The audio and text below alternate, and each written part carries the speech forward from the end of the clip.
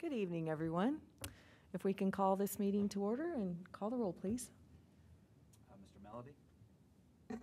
Here. Mr. Weininger? Here. Mrs. May? Here.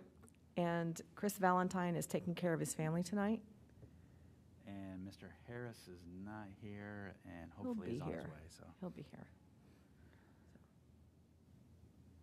Okey-doke. Dr. Lucas, can you lead us in the pledge, please? Absolutely.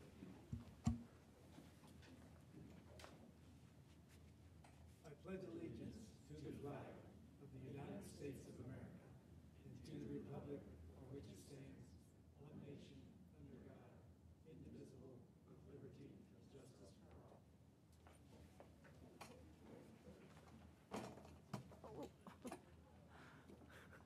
Okay, almost sat on the floor. Thank you. Stu said he's walking in. Okay. There he is. If we can have approval for the special board minutes of March 2nd, is there a motion? A second? Call the roll, please.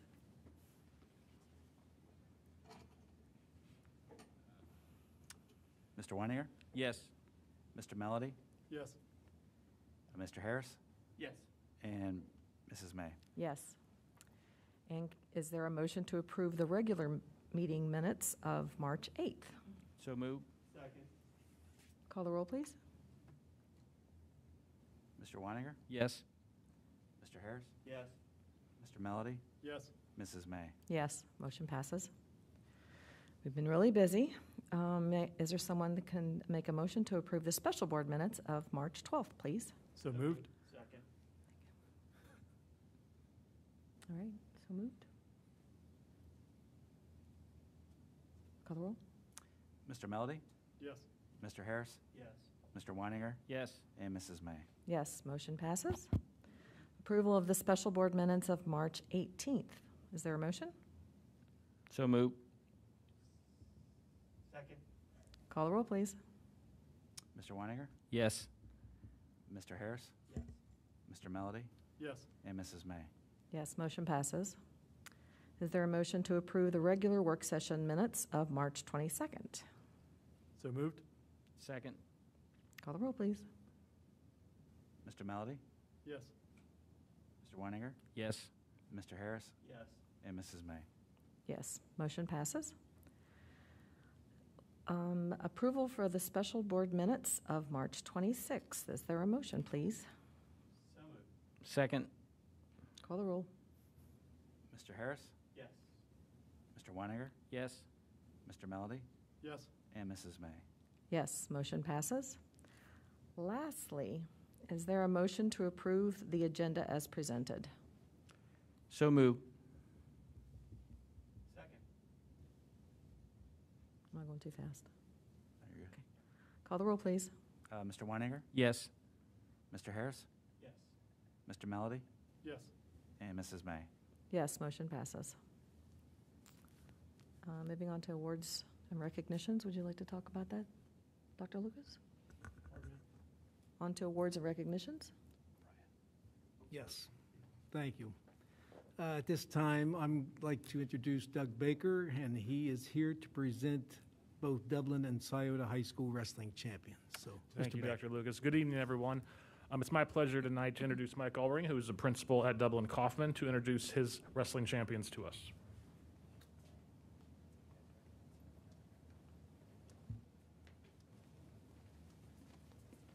Good evening, Dr. Lucas, Mr. Kern, Board of Education. Thank you for allowing us to be here, and thank you for celebrating our student athletes who do an amazing job.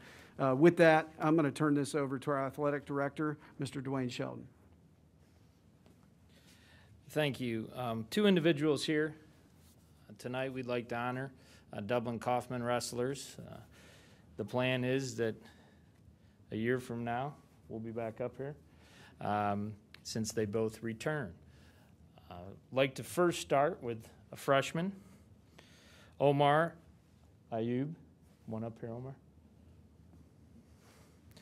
Omar, 113 pounds, uh, freshman year, went 34 and 1. Is that correct, Emma?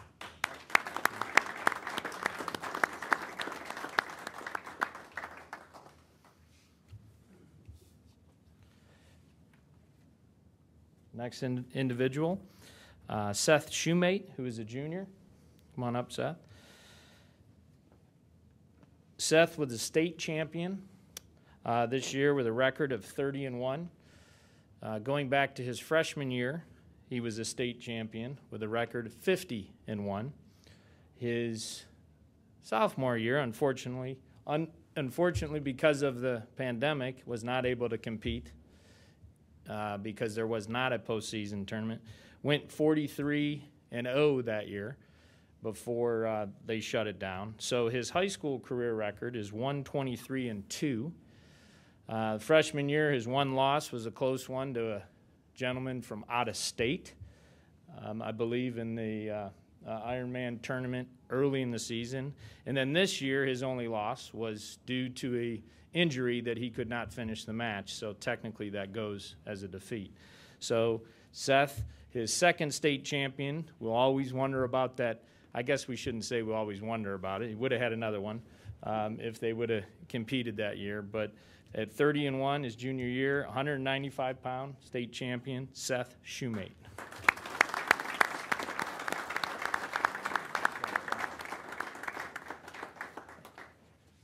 Congratulations.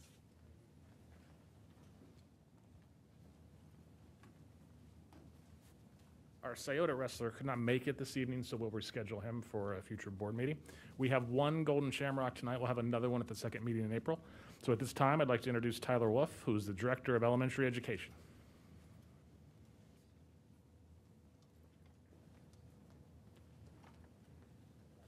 Thank you, Mr. Baker, and um, thank you, Dr. Lucas, and uh, members of the board and everyone tonight for allowing us this opportunity to recognize uh, one of our friends and colleagues, uh, Susan Wittig, who will be receiving the Golden Shamrock tonight. So I've known Susan for about eight years, since the time she was hired as the principal of uh, Deer Run. And uh, Susan has you know, displayed some of the most outstanding leadership characteristics of uh, any principal in our district, and one reason she was selected for uh, the leader of Hopewell Elementary uh, this year. And Susan, you know, I just want to say a few things about her to start off. She's she can be the quiet one in our group, and um, but don't take that to mean that she isn't involved or committed or dedicated. Um, quite to the contrary, Susan is a listener and an observer, and she contributes insights and ideas and creative answers at precisely the time that we need them in our group.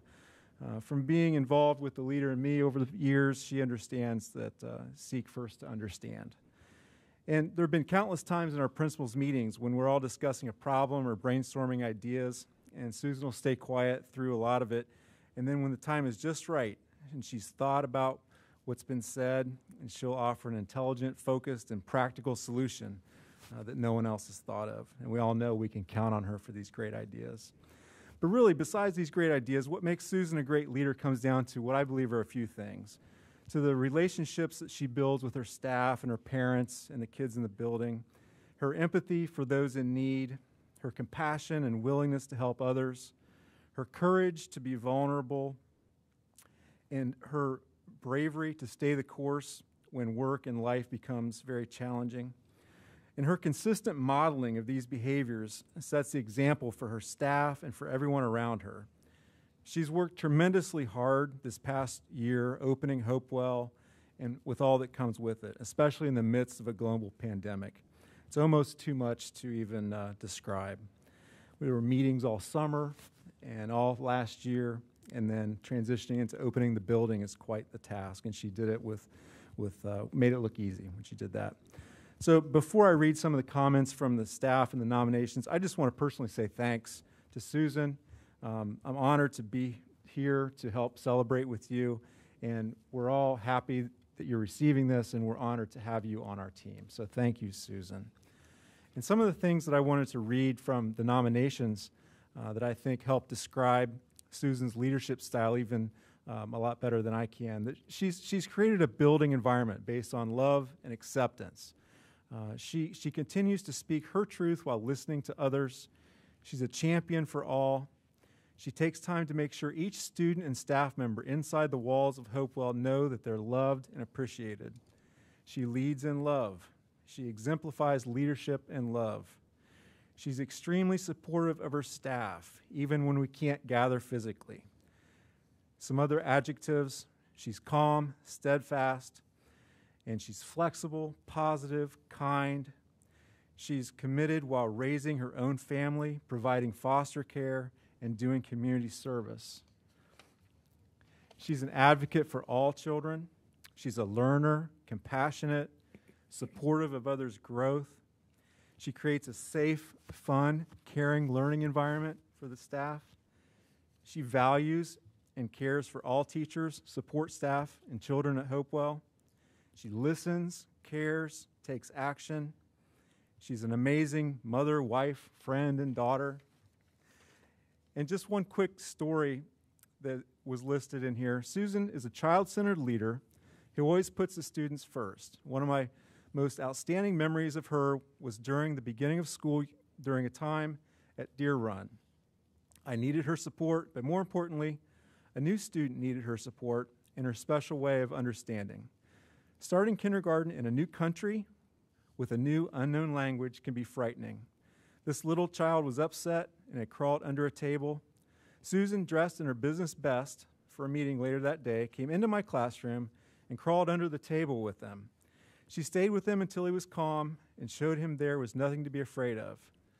Eventually, they crawled slowly out, making their way towards the rest of the group on the carpet. Her empathy for students and staff is shown through example. She did not reprimand him or remove him from the classroom. She showed him that he mattered and belonged. This little one went on to make great progress because she understood. She checked in on him and she supported him. She set him on his journey of learning in a new country where he could become anything he wanted to be. So there are many more comments, and the main thing comes down to Susan leads with love. And it's all through all of her nominations, and I see it every time I go to Hopewell.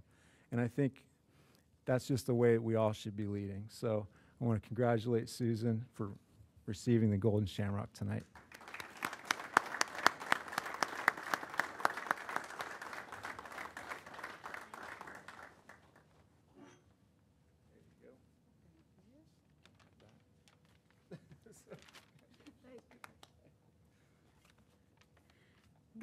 Evening, and thank you, Dr. Lucas, members of the board, central office staff. It is truly an honor to receive the Golden Shamrock Award this evening. My journey in Dublin City Schools began nearly 40 years ago. I'm showing my age tonight. With my hair in ponytails and wiggly front teeth, I began my journey at Jerome Elementary, which no longer stands. As I continued my path at Indian Run, and Sells and Coffman, little did I know what amazing educational experiences would be ahead of me. From my favorite bus driver, Mrs. Bishop, who greeted me every day with a smile, to one of my favorite cafeteria cooks, Miss Sylvia, that happened to sneak me some extra chocolate wacky cake when I helped her load the lunch trays during recess time. There were so many individuals who truly exemplified the Dublin difference for me every step of the way. Thanks to the talented educators at every single level, I found my love for learning and my interest in becoming an educator. From designing and launching rockets at the Sells parking lot, or creating egg drop containers to help an egg survive a drop off the Indian Run Falls one day, countless educational experiences like these made a tremendous impact on me. What truly captivated me through all of these were all of the staff members that taught me about the world around me and the importance of accepting others and giving back to our community. Fast forward my journey to 2013 when I had the opportunity to make the Dublin difference myself by returning to DCS as a school principal. From that day forward, I made a promise to always make decisions in the best interest of students. Each day, I try to exemplify the excellence in education, equity, and inclusion that was instilled in me throughout my time at DCS. Of course, nobody wins this distinguished award alone. I have been blessed to work with two amazing building staffs at both Deer Run and Hopewell Elementary. Thank you to both of those staffs for always putting kids and families first and for helping all of our kids feel seen, valued, and successful. Tonight, I wear a golden shamrock necklace with tremendous pride. Prior to his passing, my dad gave this very special gift to my mom, who won also the Golden Shamrock Award nearly 15 years ago. During her 30 years of service to this district, she passed it on to me last week, and I will wear it as a steadfast reminder to my commitment to making a positive difference in the lives of children each day. I'm extremely thankful to accept this special award tonight in honor of the amazing students and staff that walk through our doors at Dublin City Schools each day. Thank you.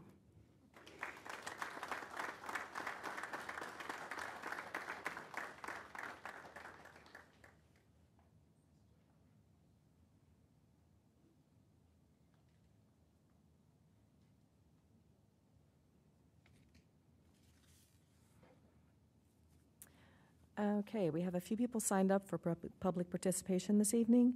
Um, Please limit each of your um, comments to three minutes.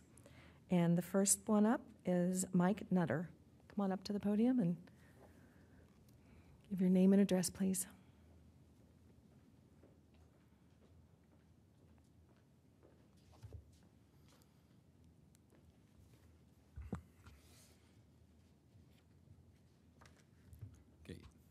Yeah, Mike Nutter, 5372 Coachman Road, Apartment C, Columbus, Ohio, 43220. So, first of all, thanks for the time. Uh, Some of you I know, uh, some of you have known a long time. I sent everybody uh, an email to the board. I don't know if you've received that email, uh, so I just want to make sure that you've got that. That's a lengthy email, several things uh, regarding the district as a whole and as the athletic programs. I'm here tonight uh, to speak to you on behalf of my support for Richie Beard, who's the varsity coach at Jerome. Uh, I come here tonight with, it's disappointing to me in a way that I, I started my career here as a teacher, I was a coach. I've had four kids in this system. One transferred over to Liberty, one graduated from Jerome, one's a senior this year at Jerome, and I have a sophomore. The sophomore plays basketball.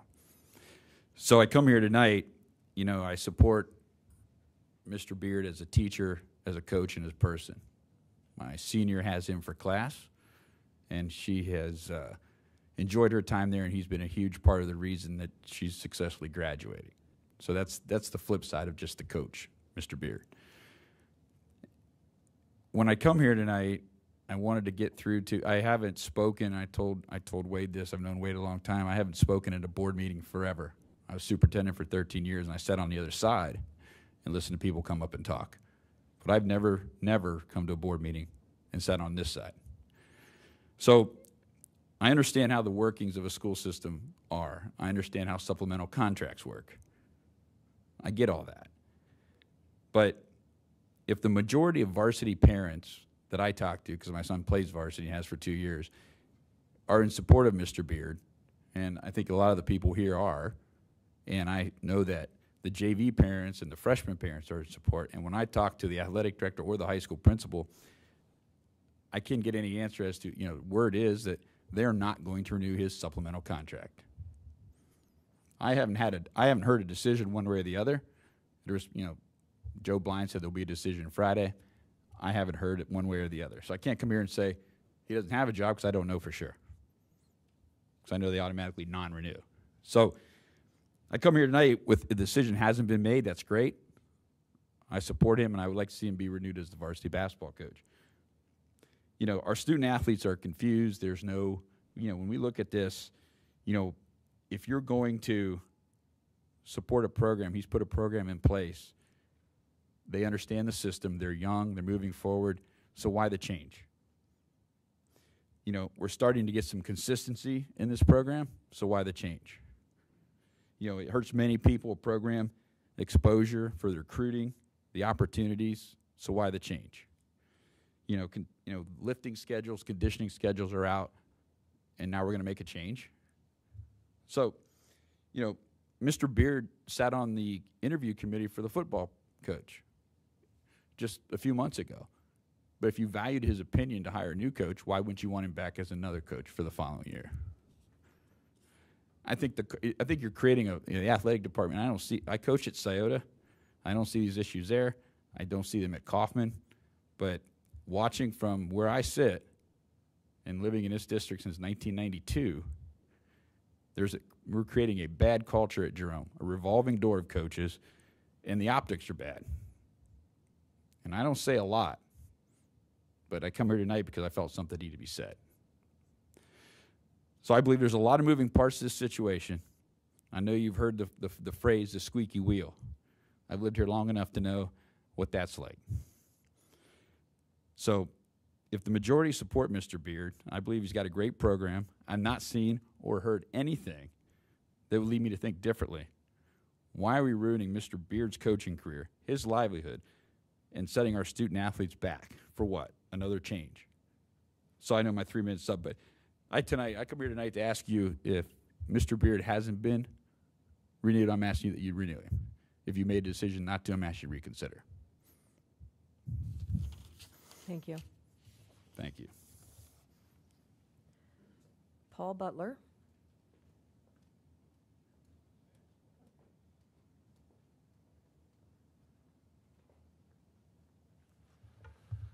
Good evening, and uh, thanks for giving us this opportunity to speak to the entire board. Um, I have two kids in uh, Paul Butler, 8175 Crossgate Court North, Dublin, Ohio, 43017. I have two kids, um, one that just graduated. You probably know him. His name's Nick Butler.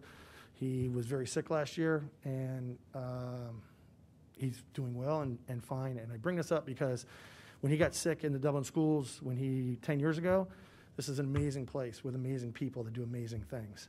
And the educators and the teachers that you have on staff are simply incredible. And my experience with Coach Beard as a teacher um, is just that. My son struggled uh, when COVID came. My younger son, Matt, who plays basketball for uh, Dublin Jerome, he's going to be a junior this year. He's played with coach for three years, or he's going to be a senior this year, and he played with coach for three years. He coach found out that he was struggling in one of his online classes at Columbus State. Coach reached out and helped my son get back on track um, and maintain his, you know, very maintain his A, A average. And without that, without coach doing that, um, he might, you know, he might not even been able to play basketball this year. However, when I shared that story with other parents, um, I find out, just like Mike Nutter said a minute ago, he does this for all the kids, not just basketball kids, many people inside the program, um, that are inside the school that aren't in the program. And I, I think that that's the kind of people that you want to have as a teacher, and, and those are the type of people that you have already.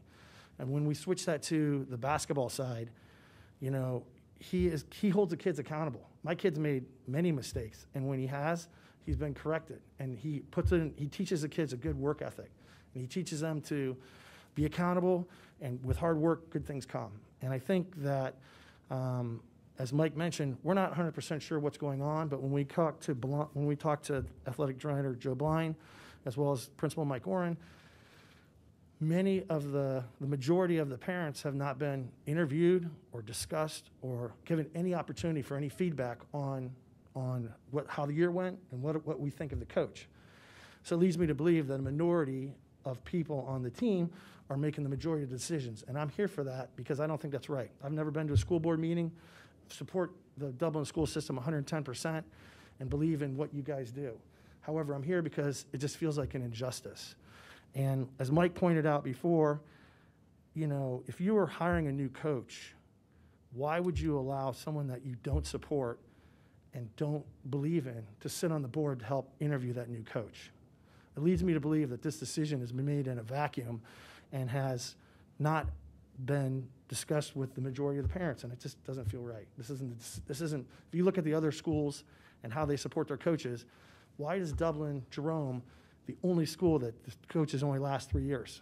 And this is a revolving process, and it's gone on long enough. And hopefully the board will, if they've made a decision, reconsider, as Mike asked, as well as renew his contract. He's a good man doing good things. He, he relocated his family here. You guys have families, you raise kids. He does good things. And to ask him to not renew his contract, his passion, and why he's a teacher here doesn't seem right to me. Thank you for your time. Thank you.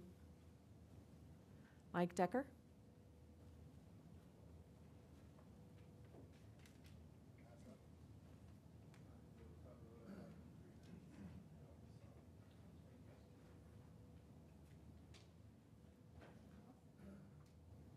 Thanks, Mike.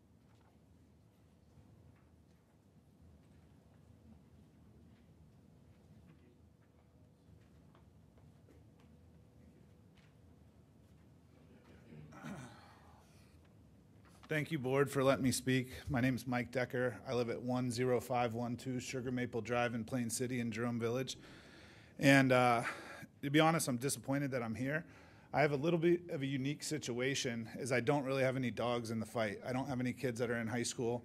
Um, my kids are way far away from entering that. Um, but I have a very unique perspective and set of experiences that can talk to what's going on and what has gone on in, in Jerome specifically for the, the last, let's say, seven years or so. Um, so, who I am uh, I live in Jerome Village. I have 20 plus years in high school basketball, player, coach. Um, I was the head coach at a school in Pittsburgh called Woodland Hills, where I was the 2012 Post Gazette Coach of the Year. Uh, the last couple years and why this matters is last year I was an assistant coach at Centennial under Jamie Pearson, who's the former Jerome head basketball coach. In the year prior, I was an assistant, varsity assistant at Jonathan Alder High School, where Mike Aaron was previously principal. So, why am I here? I'm here to represent the voice of the community and say that we're tired of coaches getting run out of Jerome because a few parents are upset because of lack of playing time or their kid isn't starting. Um, let's go through story by story what's happened. I moved here in uh, 2014, so we've been here about seven years. Since then, I've gotten to know the basketball community. Coach Pearson and I became close friends as he used to take the Jerome team to Bethel Park Christmas Tournament in Pittsburgh every year. I'm very good friends with Josh Bears, and I got introduced to Jamie Pearson. Jamie Pearson resigned in 2017 after bullying accusations. It took uh, nine months to, to set him free, and it, it caused emotional stress to him and his family to the point where he no longer felt comfortable to teach in Dublin and, and, live. And this year he's moved out to Grandview. So he's no longer a teacher in Dublin, or does he live in Dublin because of false bullying accusations that were brought up against him? This the, the spirit leader behind this, the puppet master, if you will, is the same person who's involved in Richie Beard's uh, situation that goes on today. Um, it's unfair, and as, as Paul alluded to, these are people's families and livelihoods that are at stake here. Um, let's move on to Jonathan Alder. I spent last year at Jonathan Alder. Prior to my coming there, there was a coach that was ran out again because of false accusations of a headbutt and coaching kids hard. These acquisitions were found false. And the reason I bring that and why this is pertinent is the principle that's allowing this to happen at Jerome today is the same principle that's at Jerome. Mike Aaron, who has a history of letting parents make decisions and dictate what goes on in high schools. And then finally, let's move on to what's going on with Coach Beard this isn't about whatever you hear potentially, right? This isn't about text message or inappropriate text messages. This is about lack of playing time and a kid not starting, okay? And they're masking these decisions around text messages, just like they did with Coach Pearson around bullying, is a way to hang a teaching job over his head to get him to resign. This is not fair. It, again, it, it messes with people's livelihoods. And this is about lack of playing time. And, and I added the article behind on there as you read. This is a history at Jerome. This is not a Dublin problem. This is not a, a Scioto problem. It doesn't happen there. Look at the coaching tenures. Doesn't happen at Coffman. It happens at Jerome because administrators don't have the backbone to stand up to the parents when Johnny or Sally don't get enough playing time, right? If we want to talk about text messages, okay, when I signed up to be a head basketball coach and a teacher, I signed up not for X's and O's or not to win games. It was about mentoring young boys to be men and enter them into society as they move on in the world, right? Mentorship is not an eight by five job. Mentorship's a 24 by seven job. That might mean shooting a text saying, hey, I need to talk to you about something. I need to talk to your grades. Stop down my office.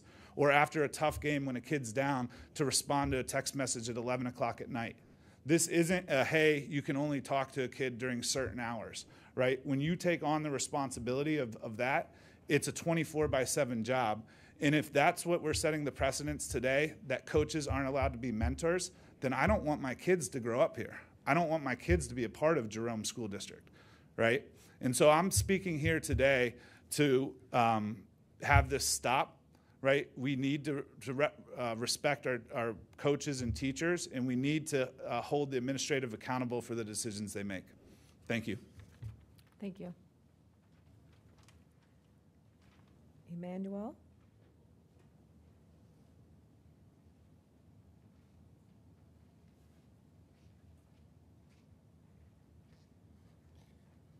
Good evening, everyone, and thank you for having me. My name is Emmanuel Chidi Chukwumeze Ezirim. That alone tells you I have a different kind of testifying to do tonight. I am a recent transplant from uh,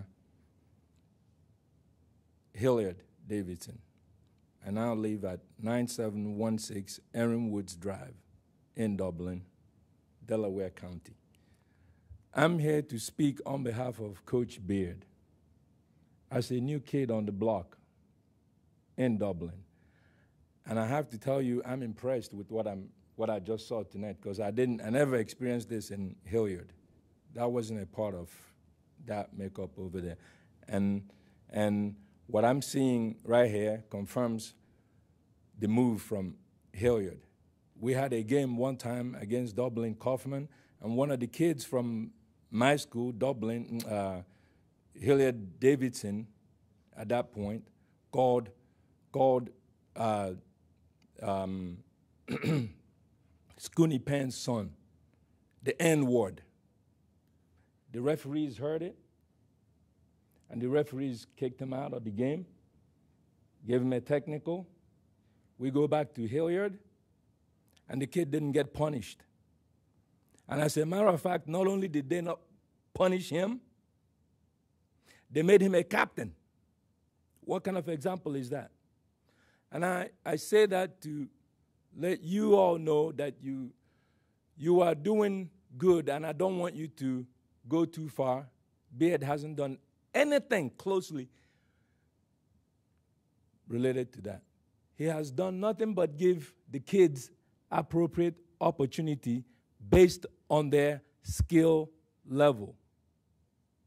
He didn't play favoritism. My kid is the one that's going here now. I had another one, the one that graduated from Hilliard Davidson, is 6'8, 300 pounds. The best player they had, at least his senior year, when all this thing was going on, and they couldn't see any way to even honorable mention him for anything on the defensive line. And because I spoke up, they gathered at the last minute and say he's the Iron Man of, please. We've seen all that.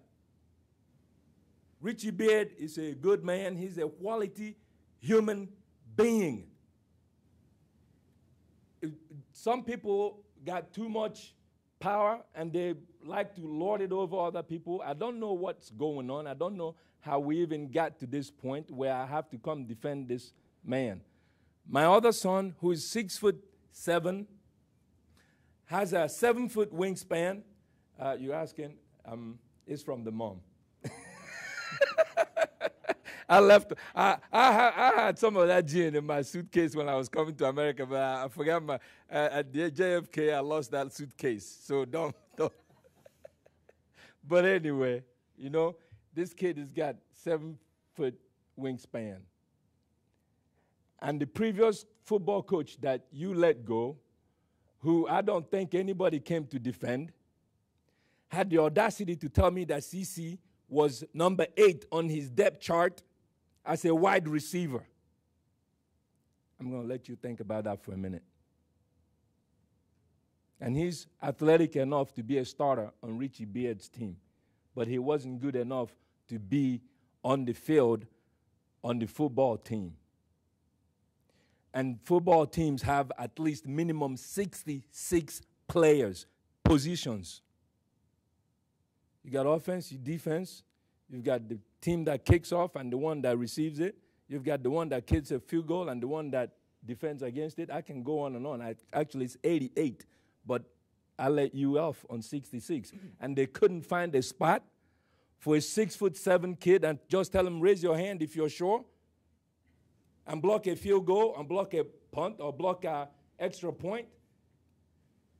The punishment there was punitive because he said, if I'm number eight, I'm going to work hard to be number two or number three or number one. For that reason, they refused to put him on the field at all. That's punitive. That's somebody being mean, cold, just being mean. And that was his year, the most critical year of recruiting. And here's a kid who's on this team, and this team wins three games out of 11. And five of those games, they got mercy ruled. What do you do as a coach when you're getting mercy ruled? Isn't that the time to put your scrubs in so they can find out if the thing is carpet or grass? And CC never had a chance to be on the field. And somebody is going to come and look at all this and have a reason to say they're going to let Beard go. Beard punished CC when he overslept and was late for practice. And he sat him down for about half of the game. It was appropriate. Nobody said anything. Nobody made any noise about it. I don't know why he would punish some other kid for doing the same kind of stuff and then they want to get him fired. That's not fair. I, haven't heard of that before, and I'm going to rest my case here because I can go on and on. But the man needs to stay here, and if the parents have an issue, it's a basketball team. There aren't that many of us. We can sit down and hash it out, figure out what it is they're angry about. We can talk about it and finish up that way. Thank you so much for giving me your time this evening. Thank you, sir. Fred Pagac?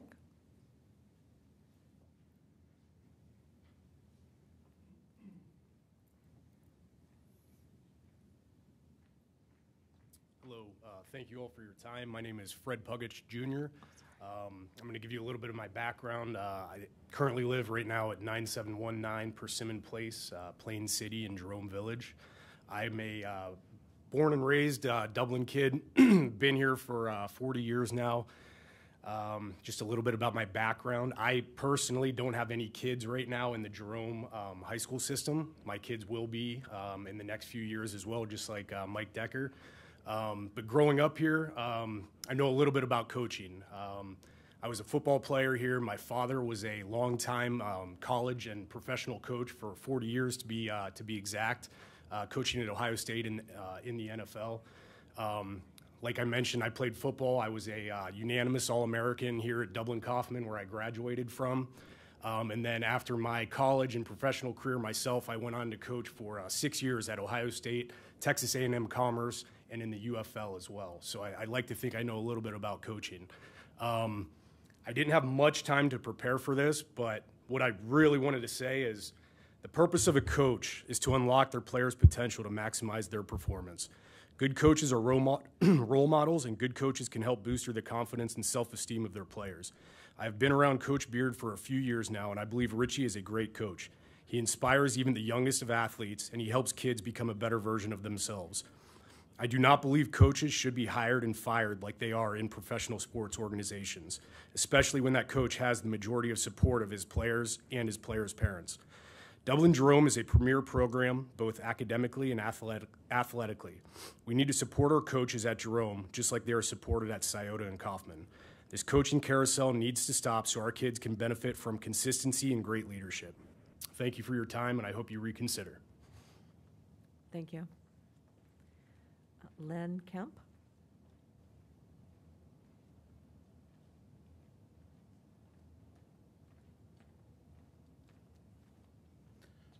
Hi, my name is Len Kemp. I live at 8422 Greenside Drive in Dublin. Um, I have two boys. Uh, one has graduated from Dublin Jerome and played basketball under both Pearson and um, Coach Beard, and I have a current sophomore. Um, here we go again as a, job, uh, as a Jerome parent and as a basketball fan. Here we are, we find ourselves what seems like running off another basketball coach based on parent input.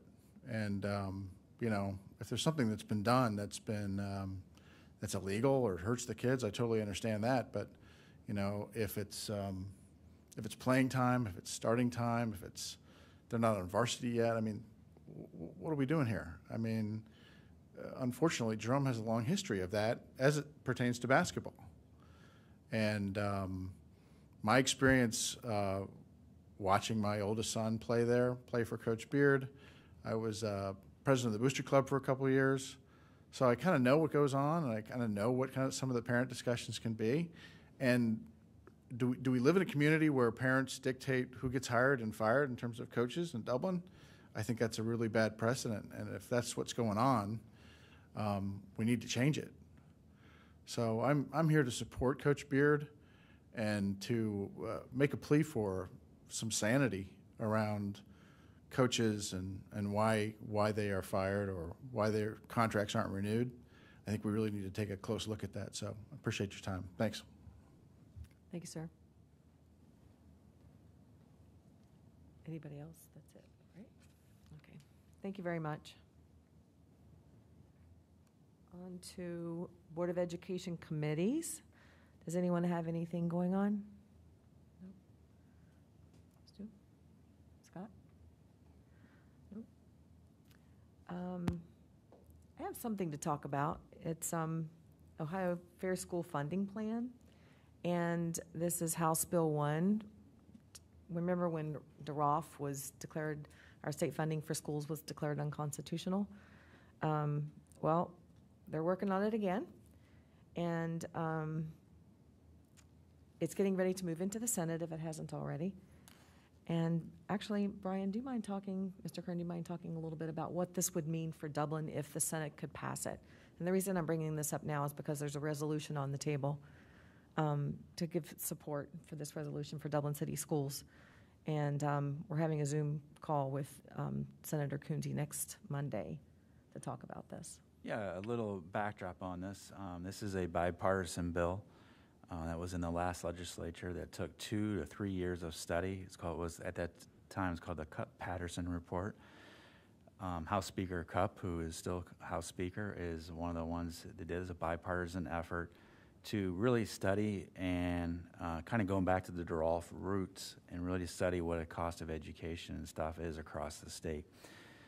And worked with local treasurers, superintendents, uh, and others throughout the state to try and come up with a formula that would be fair to all school districts and adequately fund them as such. As as Lynn, as you uh, brought up and stuff, I may not have brought up, but is we are reliant, especially here in Dublin City Schools, on our local property tax base. Um, It is different throughout the state, but there are other, many other areas where they're heavy reliant on the property tax as well. Um, This bill would then, um, fully fund it, which it has a six-year implementation uh, period, uh, would mean another $10 million per year, per year to Dublin City Schools, which is almost three mils of, of millage when you're thinking about property taxes. So that is very significant and very, and very good for us as a district. So hence the support of this. Um, this is not the only, we are having a meeting on uh, April 19th for local uh, board members, superintendents and treasurers, Southwestern City Schools, Hilliard City Schools, Dublin City Schools, and Worthington City Schools to talk about this with Senator Kunze. And this is not the only area. It's happening across all the Senate districts across the state, um, put on by Ohio School Board Associations, Ohio Association of School and Business Officials, and I believe BASA, which is the Superintendent's Association, are all joining together to host these meetings. Um, as Lynn mentioned, it's already passed through the House and is in with the Senate right now. And so we want to make sure all, including our local Senator Kunze, is updated on um, the information so they can make the best decision as it goes through the process. So, and then up even to the Governor DeWine's office to make sure that they have the information once it gets there, so there's no veto or line item veto potential there with that. So. Um, I know that's a lot of information, but a, a very worthwhile bill. And, you know, like I said, we, we support it as in such that uh, they did, they went down to the local level, went to the local treasurers, the local superintendents, and everyone to kind of develop this. And I, I think it's good for most districts, if not all districts in the state of Ohio. And this is the closest we've come to having some type of resolutions in, in quite a while. Is that mine? Oops. Um, this is three pages. I'm not going to read it, but I'm going to read just a couple of highlights. This resolution is to endorse the Fair School Funding Plan as contained in House Bill 1 and to encourage the 134th General Assembly to expedite the passage of the bill. Um, now, therefore, be it resolved by the Board of Education of the Dublin City School District that Number one, it is necessarily to formally endorse the Fair School Funding Plan as introduced in House Bill 1 of the 134th General Assembly to ensure that K 12 schools in Ohio are funded using a rational school funding system that meets the needs of all Ohio students in the 21st century. Imagine that. The treasurer is authorized to deliver or cause to be delivered a certificate, a certified copy of this resolution to community leaders, to members of the House of Representatives and the Ohio Senate, including Representative, and to the office of Governor Michael DeWine. This resolution shall be in full force and effective immediately upon its adoption. Is there a motion? So moved. Is there a second? A second? Call the roll, please. Mr. Harris? Yes. Mr. Melody? Yes. Mr. Weininger? Yes. Mrs. May? Yes, motion passes four to zero. Thank you very much, everybody. Okay, moving along. Dr. Lucas. Thank you.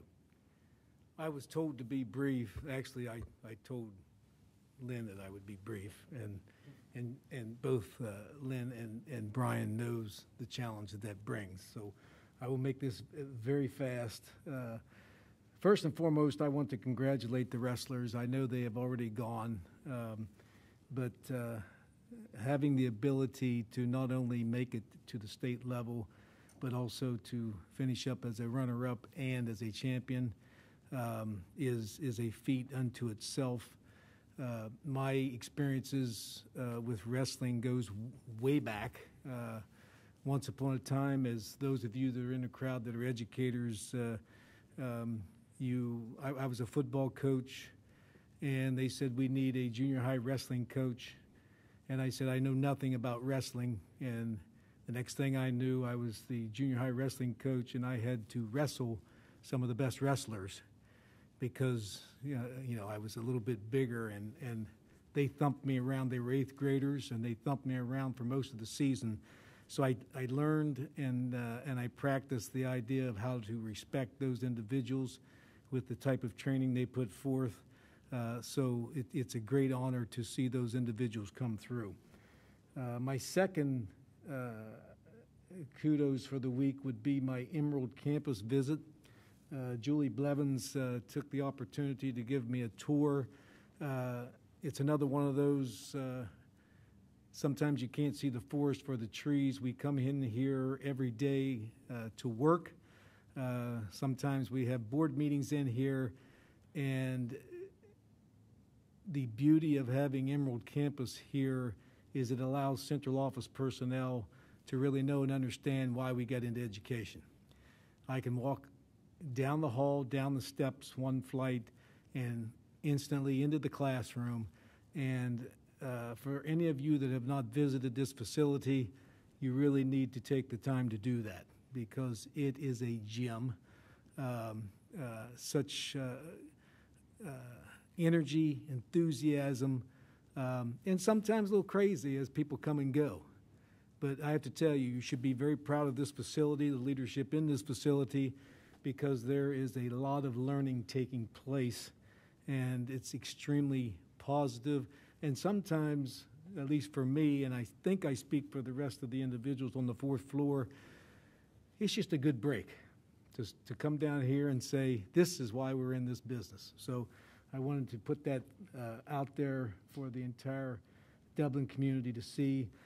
Last but not least, um, I know we're going to take some action here on some retirements, and you know we have some people leaving, and and we're welcoming in a, a, a new superintendent very soon. So my time here is limited, but I want to make sure before we get before I leave that that uh, I put put out there for everyone to know and understand uh, the work of Jill Reinhardt, uh, Tracy Deagle, and, and Gail Marsh. Uh, I could talk a long, long time about uh, Gail, given the fact I know Gail better than both Jill and, and Tracy, but uh, I have, I've gotten to know both uh, Jill and Tracy over the last month, six weeks. Extreme talent, uh, expertise, and it has absolutely been a pleasure uh, to go to them for things that, that basically I don't know. Uh, it's a great opportunity to walk out and, and say, we're in good hands uh, with both these individuals. Um, and Gail Marsh Uh, You're going to see on the agenda that he is uh, uh, resigning. Um, We've been through a lot of battles together. And if you're in the HR business, uh, especially in the school HR business, there are just a lot of things that take place that you just don't even want to think about, talk about, look at, move forward, all those things. Uh, but I think Gail usually says it best is, uh, you know, when we go into battle, there's, there's, one, there's one HR person in central Ohio, or possibly even the state, uh, that I would want to go into battle with, and that would be Gail Marsh. And I appreciate both his contributions to the Dublin City Schools, also Tracy's contribution to the Dublin City Schools, and Jill's contribution. They do a great job. We wish them luck, and I know they will continue to do a great job as they move forward in their life. Thank you to all three. And that is my report. Well, that's a good segue because um, I think some of us would like to say similar. Um, Anybody want to go? Anything, anything to say before I I'd do? like to go first. So I'd like to thank all three of you for the excellent job that you've done for Dublin throughout the years. I got to know Tracy first as the principal over at Davis Middle School, and, and what a job she did over there. It was just amazing. The, the way she connected with the community and pushed the staff and, and students forward to achieve great things over there is, is truly a testament to the great job that she can do in any position. And then she took that to the deputy superintendent's uh, role, and that's been very amazing. Uh, she gets the job done is, is probably the bottom line. We can count on her to do any project and to do it well. And so we appreciate what Tracy has done for our district. Jill, we've known each other for so long, and you've worked your way up through the ranks, and, and you've done so many of the different jobs in our district. But the key thing with Jill Reinhardt is she understands that the basis for a good quality education is being able to read. And she has done wonders for our reading program throughout the years. And, and that doesn't mean she just sticks to traditional methods. She looks for the best way to provide that reading instruction to our students. And I think I will remember Jill for that probably more than anything. Thank you so much, Jill. And Gail, you're the quietest HR person I've ever seen, but you get the job done. And the, the nice thing is, well, there are trials and tribulations in the, in the HR role, and we do have tough situations here and there. But the thing that I would like to comment on is the quality of the teachers that you brought to the district. That is a true celebration when you can bring excellent teachers into the district and make sure that we're providing the best possible instruction for our students. And then all the other support staff that surround them, whether they're the classified or the administrators that we brought to the district. I think that you've done just a fabulous job with that, and we are truly sorry to lose you. So thank you very much for the job that you've done. We're losing three at the same time, and that, that is uh, that's going to be tough on our district. But uh, we're going to do our very best to try and get to the level that you guys have provided uh, throughout your years of service here. Thank you so much for everything.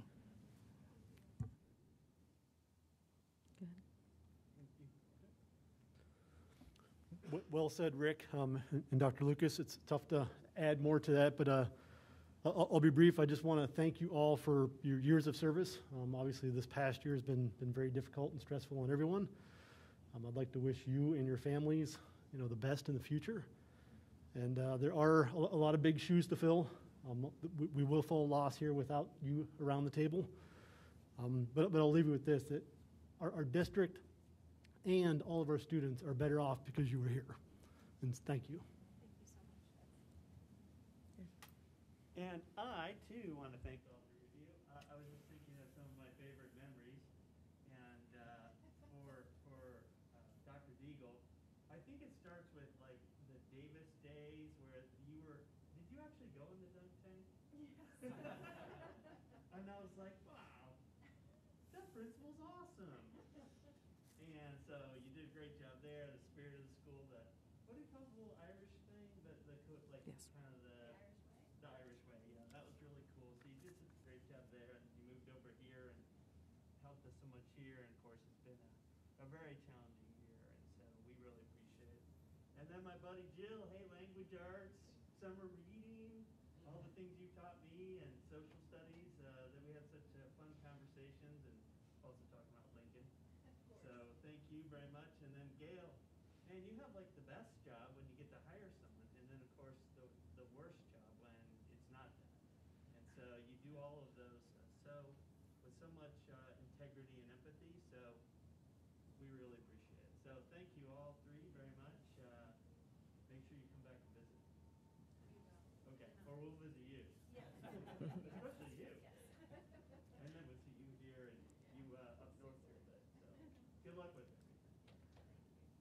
And lastly, I want to thank all three of you. Um, you're truly some of the best people I've, I've ever worked with, and that you really are. And I'm really sorry to see you go. So um, thank you for everything you've done for our school district. See you down the road. Thank you. Okay, moving along to treasurer's comments. It's always so hard to follow Dr. Lucas and everyone here, but uh, with our exciting uh, stuff from the treasurer's office, but uh, some good stuff here. Um, uh, we do have two transfers on this evening. Uh, as you've seen the last couple meetings, uh, we've done transfers to close out the classes at 2020 at the high schools, and this, I believe, is the last one. This is Coffman's, as that goes into the other class of 2021 and other groups.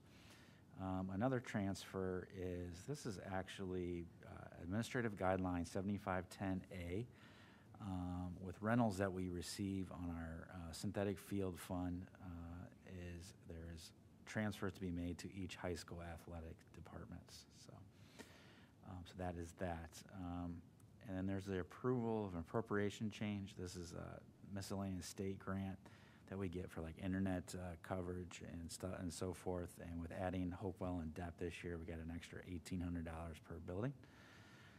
And so we had to appropriate that. And then the March financial report, um, really, as, as you can see in there, we're on um, line with estimates and revenues and expenditures at this point in the year. Um, we will, uh, we did just get the settlement in for Union County. Um, and so as we move forward and through the um, April financial report and into the May uh, financial forecast, uh, we'll make updates as such uh, to reflect that changes and other things that are going on um, out there financially. Other than that, that's all I have this evening. Is there any questions?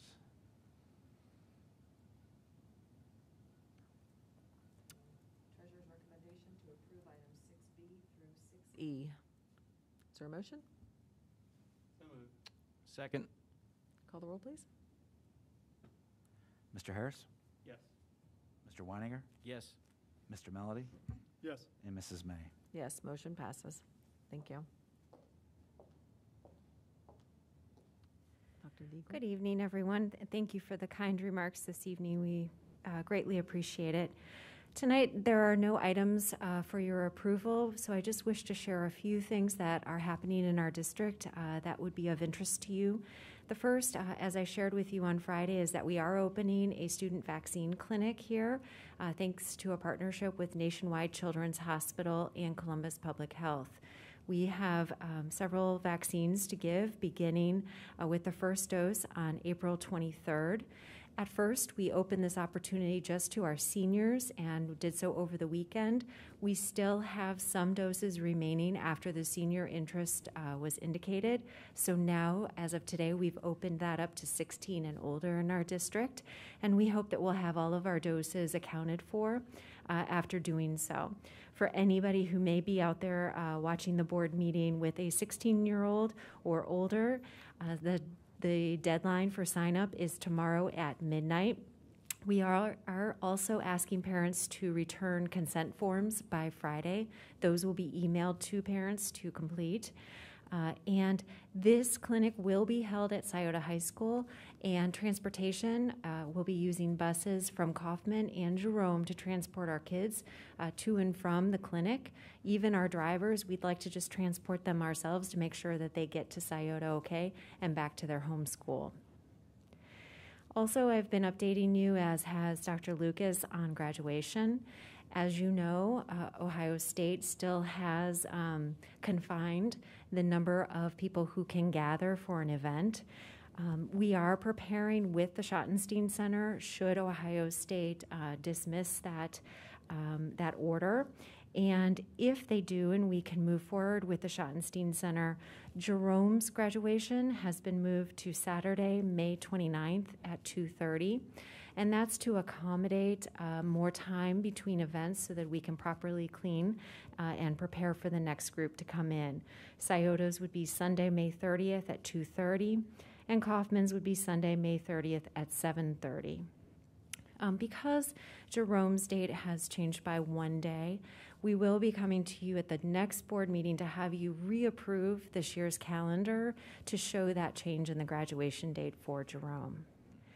If we are not able to get into the Schottenstein Center uh, because of current local health alerts uh, and constraints, we will be holding a drive through for our diploma pickup. And for Jerome, it would be the same day as their commencement, which is May 29th uh, at 1 p.m., and for Scioto and Coffman, May 30th at 1 p.m.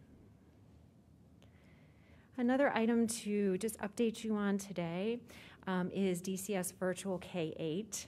As you know from my board reports, we have um, asked parents for their initial interest in this program, and we've had 900 students in grades K through 8 uh, show their interest in online schooling for next year. So now it's time to ask for them to make official application to the program. So the official application for DCS K8 virtual is April 14th through April 21st. This is really a crucial window for us because we do need to make some staffing decisions.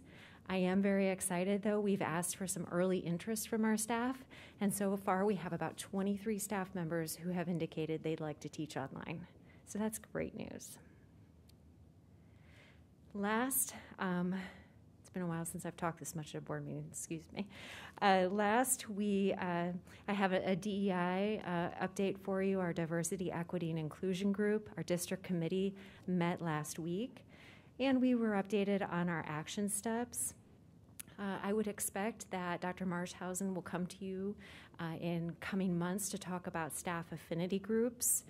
We also did create our agreements for communication that we'd like to share with our director of DEI when they're onboarded and I included those in your board report for last week. We also shared opportunities for summer learning around diversity, equity, and inclusion.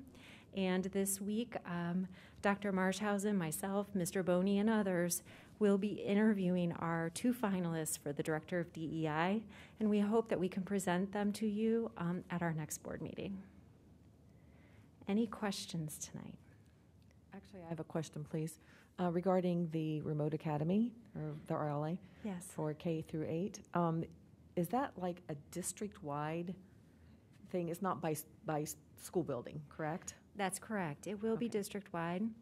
So it's similar to the Emerald campus. Mhm. Think of it almost like an academy. So the students will still be official Bailey Elementary students, um, but they will be uh, educated with other students in the district and with a district teacher, not a Bailey-specific teacher. Okay, thank you. I just wanted to confirm that. And the second thing to confirm, is that a full year commitment or is it semester by semester? That's a great question. It is a full year commitment because of the staffing, as you know from going through this this year. Um, and we're very excited. Mr. Stark and his team are working with academics uh, to secure uh, some sites here on our campus where we can pull all of our teachers together who are teaching online and create their own professional learning community so that they don't feel so isolated. We're very excited about that opportunity. Dr. Marshausen brings a lot of experience with him as well with the online format, and so he has some vision also. Thank you. Um, Thank you for the information on the COVID situation, um, especially the shots. Uh, Just a comment on the seniors and now potential juniors getting the shot. That is an option. The parents can sign into that. It's not a requirement, and I wanted to make sure our public knew that.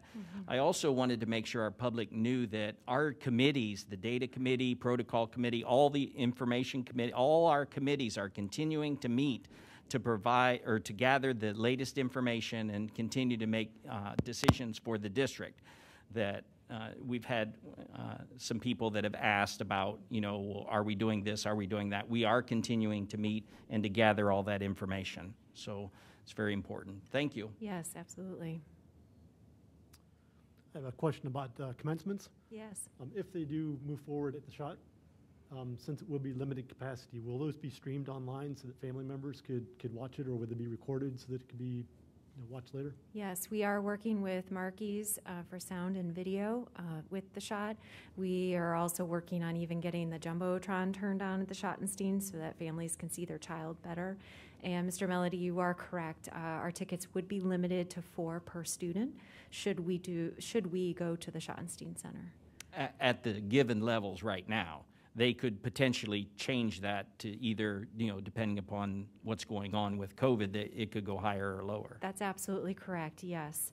I reached out to Ohio State today. They were hoping that, you know, sometime in the next coming weeks here, in the short term, we will hear um, about the decision from Ohio State. It, it really is a wait and see, and so we're trying to keep one foot in each one of the boats right now to make sure we're moving forward with either option so that our seniors have the celebration they deserve. Thank you. Thank you so much.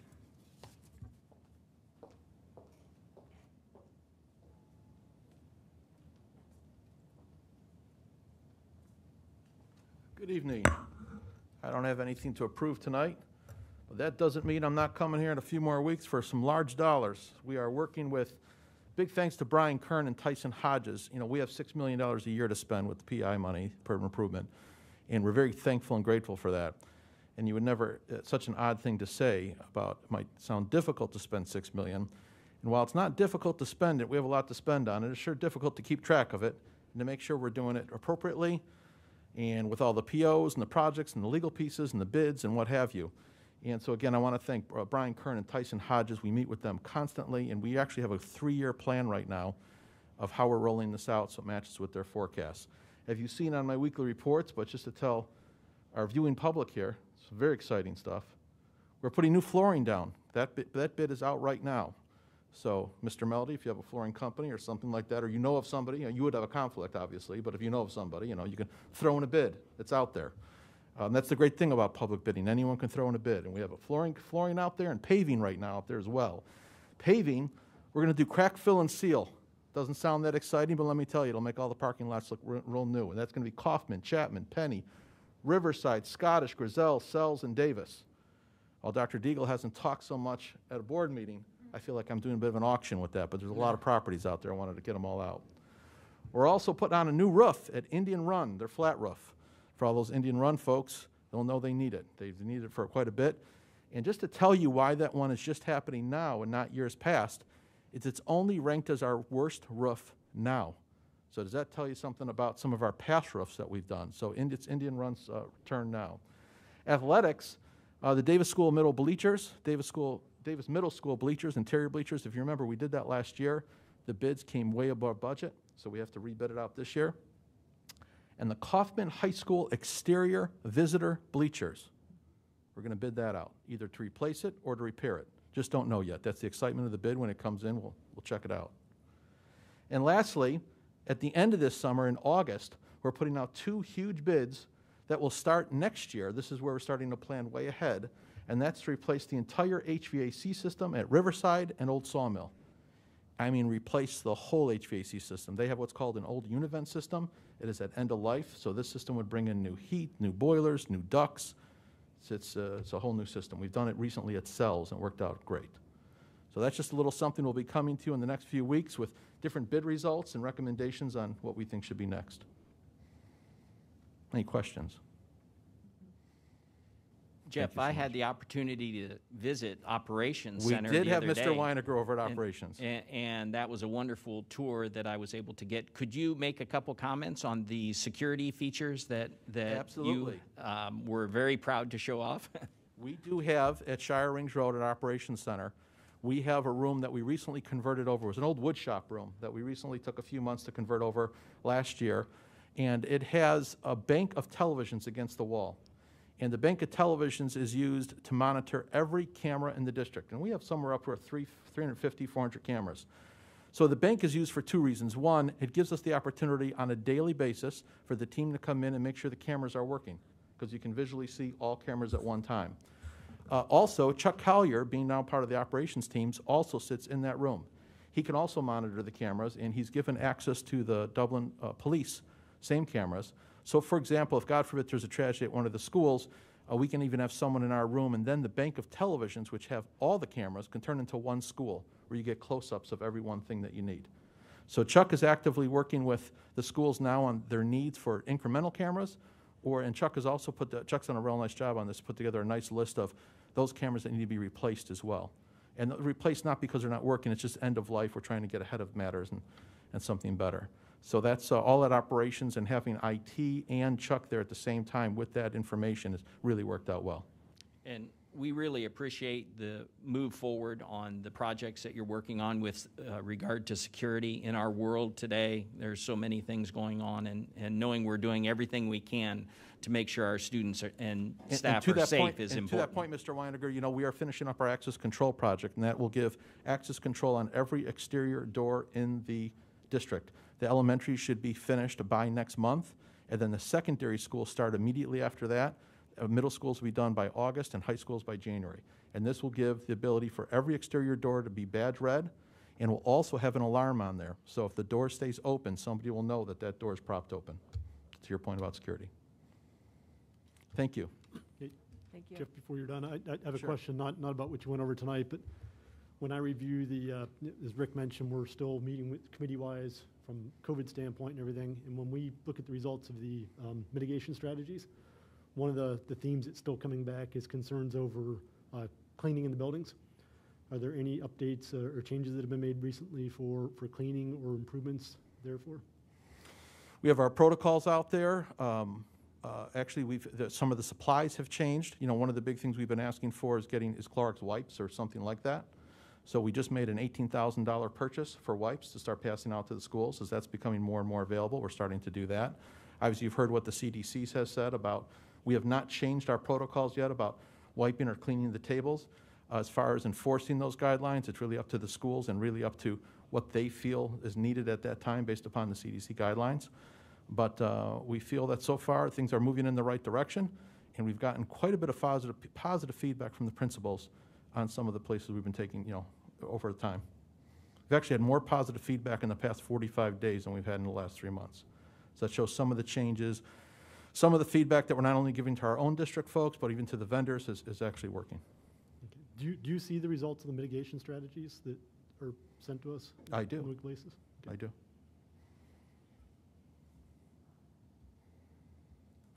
Thank you. Mr. Baker? Good evening again, everyone. Just a few updates from communications. Um, very busy right now promoting, Tracy mentioned the vaccine clinic on April 23rd, promoting that, along with helping Aaron promote DCS virtual signups. And so I'm going to spend some time on those things this past week. Met with Dr. Marshhausen to go over his 100 day plan and to talk about communications going forward. So that was a productive meeting. Um, and again, we're pushing out information on the Aviation Academy right now. And for everybody watching this or watching a recording of this, if your student needs a summer job, please go to our summer job resource page. My department's worked really hard in putting together a list of local employers who are hiring students for the summer. So that's on our website. And uh, speaking of the summer, summer school information, as well as information about camps and sports and those types of things offered in the summer are also at the top of our list right now in terms of pushing things out. And I'll just end with this reminder that breakfasts and lunches are free through September 30th, so um, please take advantage of that um, for your student. That's all I had. Thank you. Thank Que- you. Question, Doug? Um, I know with COVID, it's really hurt us in terms of recognition of our retirees from last year, and, and I didn't know if you guys are thinking at all about this year for our retirees and We had- seeing. unfortunately, Rick, we had talked about that, community champions, the military signing, all being virtual one more spring, um, just because of you know right not gathering for events. So, um, but we've talked about it. Okay, Yep. thank you. Uh huh. Thank you. Um, We would normally have the Executive Director of Human Resources have some comments. However, we are going to go into executive session at this time. In accordance with the- with Ohio Revised Code 121.22, 123, 5, and 6, the Dublin Board of Education will go into executive session to consider, number one, the employment of a public employee or official. Is there a motion? Second. Thank you. So call the roll, please. Mr. Harris? Yes.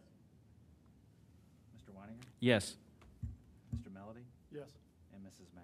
Yes, motion passes. We will be back after that.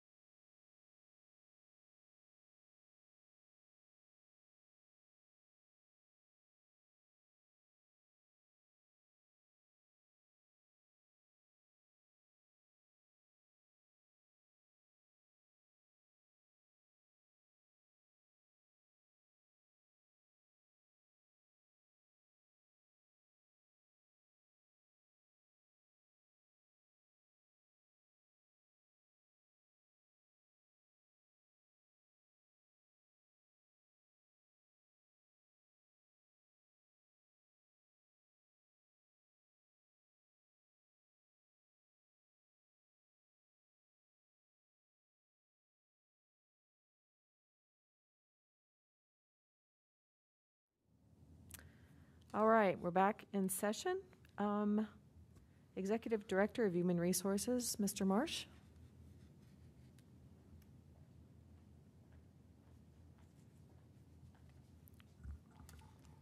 Good evening. Just like to review the certified and classified agenda.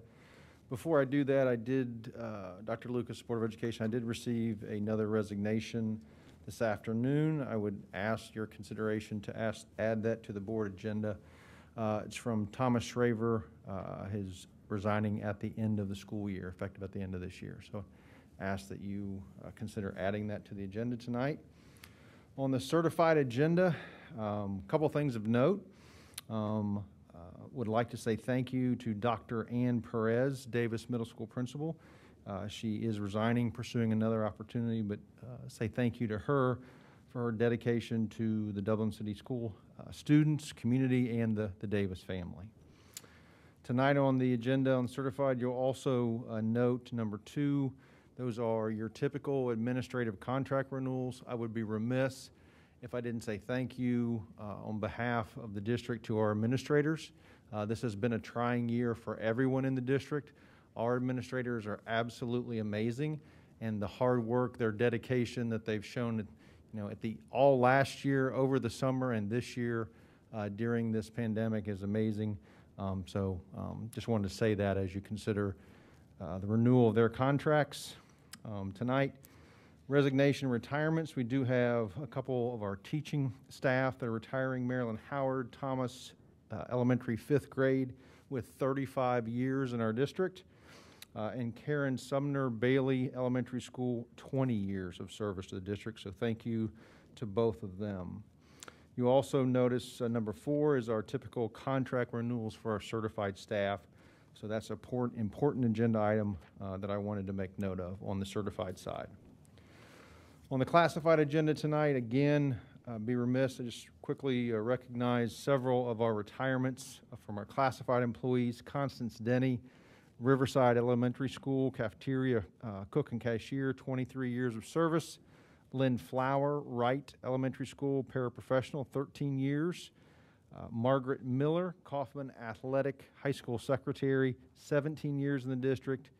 Marsha Whetstone, one of our bus drivers, was 15 years in the district, and Pamela White, uh, High School Athletic Secretary, with 21 years in the district. So it's that time of year when folks are thinking about retirement and want to make sure we say thank you to all of our employees that have reached that milestone. Uh, we do have several stipends for your approval, um, and they're there for, uh, for, for you to read, but uh, lots of work going on in the summer. Um, I guess one of the stipends I would highlight is Daniel Wright Ele- Elementary, the summer lunch program. That's a fantastic program that uh, Lucas, uh, his staff, put together uh, during the year to make sure that folks have the opportunity for uh, that lunch program. So thank you to him and his staff. Questions tonight?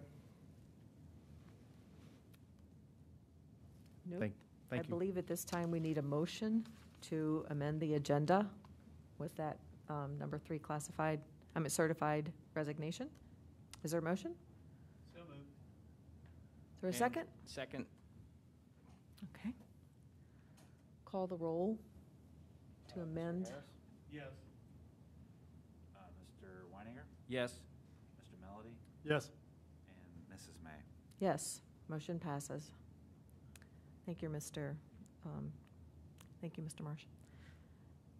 So there's a, re- um, the superintendent recommends to approve items 12A through 12C as amended. Is there a motion? So move. Second.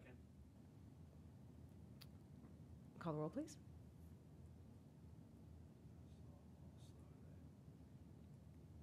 Mr. Weininger? Yes. Uh, Mr. Harris? Yes. Mr. Melody? No. And Mrs. May?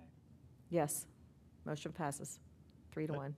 Uh, I would like to just make a brief comment that um, I I just, I do have concerns about the performance of one of the individuals up for contract renewal.